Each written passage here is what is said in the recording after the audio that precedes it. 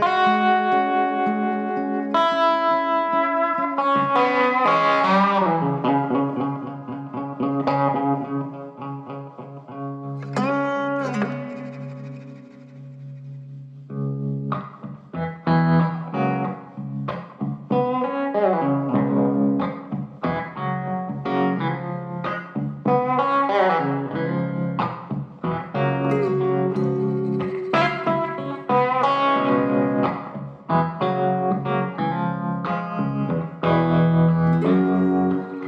Welcome back to New Record Day. My name is Ron, and in today's video, we're going to be doing a complete and total breakdown of the SVS Ultras. You guys seem to really like the breakdown of the Buchardt S400, so I thought let's go ahead and do this again.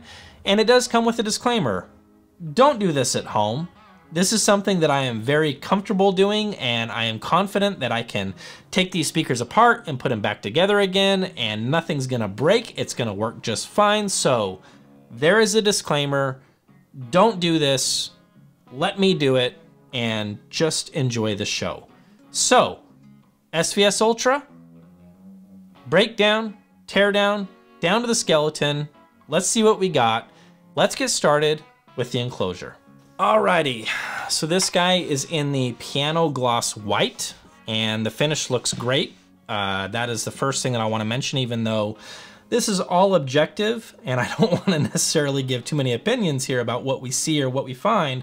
I do got to mention that the finish is rather impressive, especially at the asking price.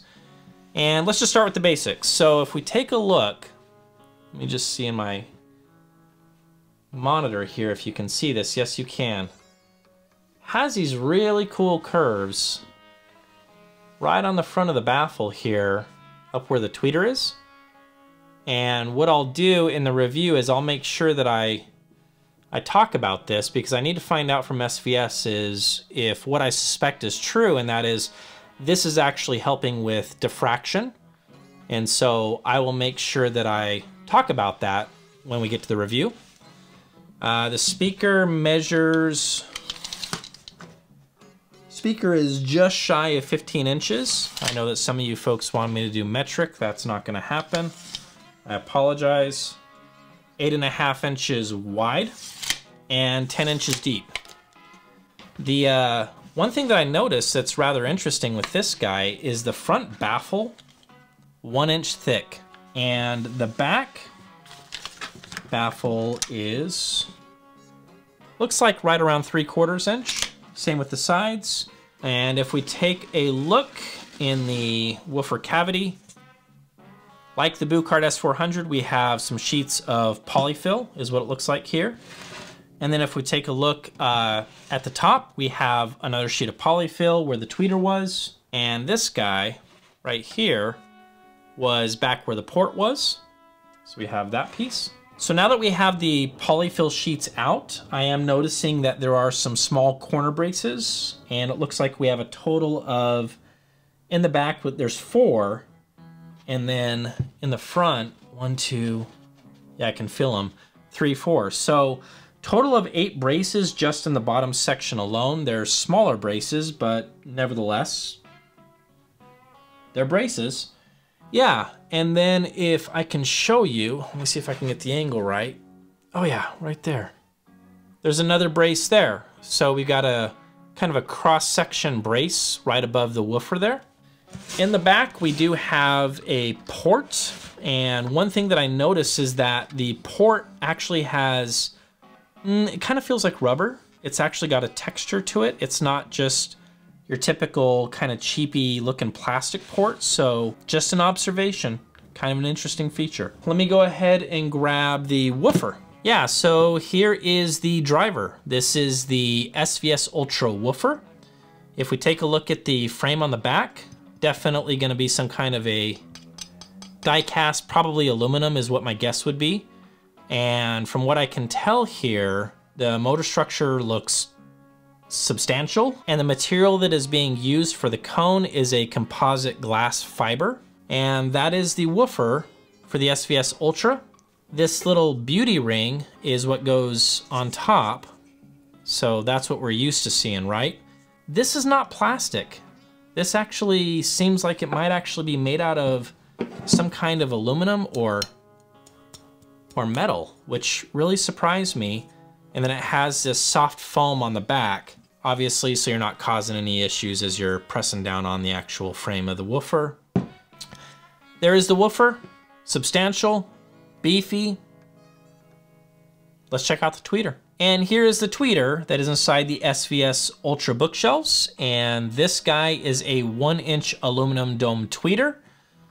It has got some heft and some weight, no doubt about that. And this plate right here, again, not plastic, has to be some kind of aluminum, metal for sure. And uh, yeah, that's the tweeter. Let's, uh, let's take a look at the crossover. All right, so the crossover is mounted on the back of the binding post, so we're gonna talk about both. And the binding posts are five-way binding posts. You have a pair of them, so if you wanna do bi-wire or bi-amping, uh, you would just simply remove these jumpers and you're ready to rock and roll. And then flipping this guy around, the, uh, the network is simple. I had to count twice because I was kind of surprised by this, but there are only five parts. We have one sandcast resistor, we have two inductors, we have one polycap, and then we have one electrolytic cap. Super simple network, and that's it. So let's move on to the measurements. Alrighty folks, time to walk you guys through measurements. And I did all of these measurements. I work very hard at them. It does come with a disclaimer that I'm a reviewer. I am not an engineer. I have learned a lot about measuring and I feel like I do a pretty good job with it. But understand this I can only take these so far. And this is just to show you what I got within my environment, with my hardware, with my software, and the equipment that I use. I will link down below. It is called Clio Pocket.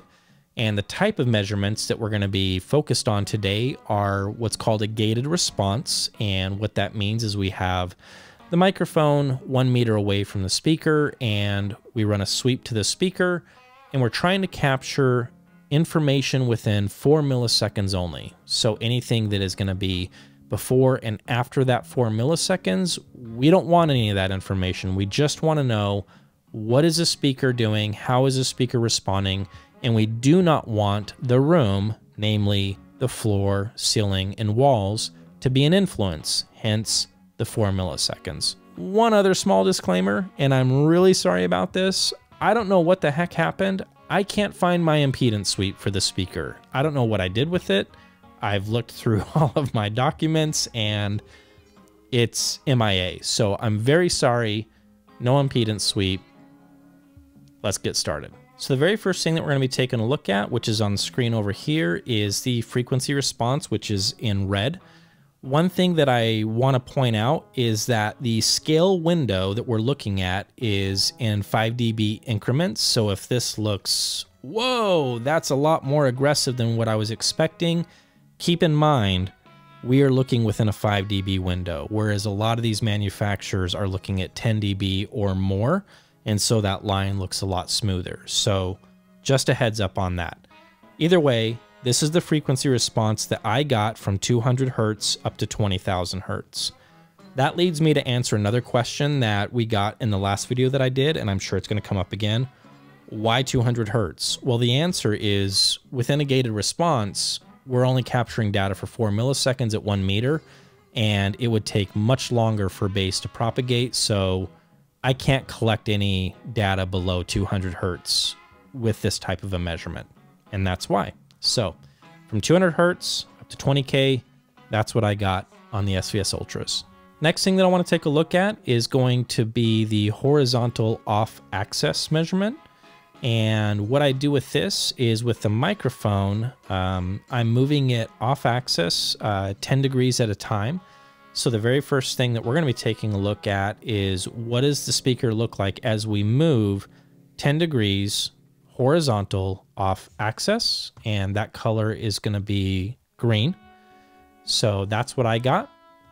Little to no change there. And here is 20 degrees, which is going to be orange. And here we have uh, 30 degrees, which is this uh, dark blue color. And the last, which is going to be 40 degrees, so pretty extreme, 40 degrees off axis, we have the purple line.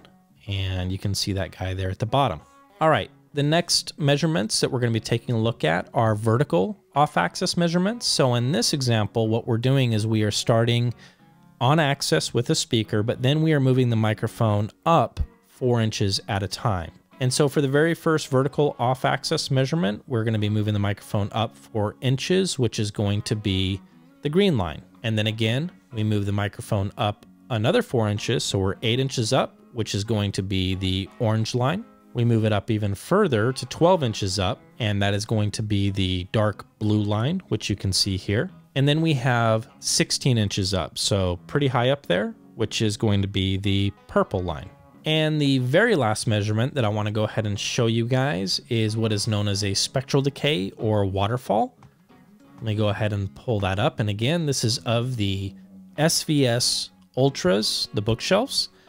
And there we go that concludes our measurements. I hope that you enjoyed this breakdown video. I hope that you found this useful and interesting. If you have any questions, leave them in the comments down below, and we will see you guys in the next video.